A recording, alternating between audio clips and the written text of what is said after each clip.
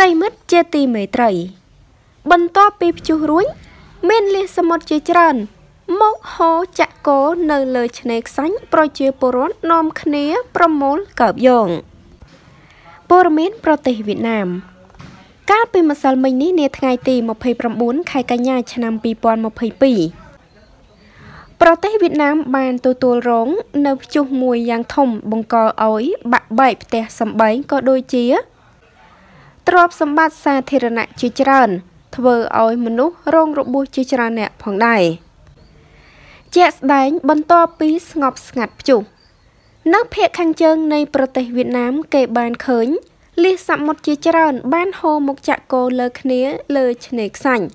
ប្រជាពលរដ្ឋក៏បាននាំគ្នាទៅប្រមូលកើបយកមកធ្វើម្ហូបក៏ដូចជាអ្នកខ្លះប្រមូលយកទៅលក់ផងដែរ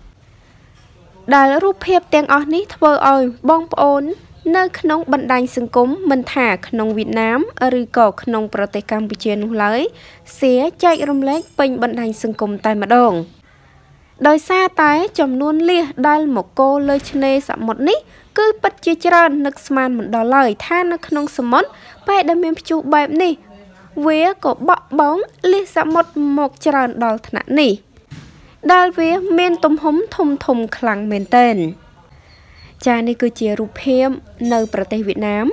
ដែលបន្ទាប់ពីមានព្យុះយ៉ាងខ្លាំងរួចមក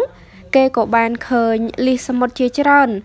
បានបក់បោកមកជាប់នៅឆ្នេរសមុទ្រគឺជាច្រើនមែនទែនដាច់កន្ទុយភ្នែកតែម្ដងនៅតាមឆ្នេរយើងឃើញថាមានប្រជាពលរដ្ឋជាច្រើនទៅនាំគ្នាប្រមូលកើបយកមកធ្វើម្ហូបក៏ដូចជាយកទៅទុកលក់ផងដែរ ដល់តែពេលច្រើនបែបនេះមិនដឹងថាហូបយ៉ាងម៉េចអស់ទេបងប្អូន ច្រើនខ្លាំងមែនតើហើយក៏ធំធំខ្លាំងដែរ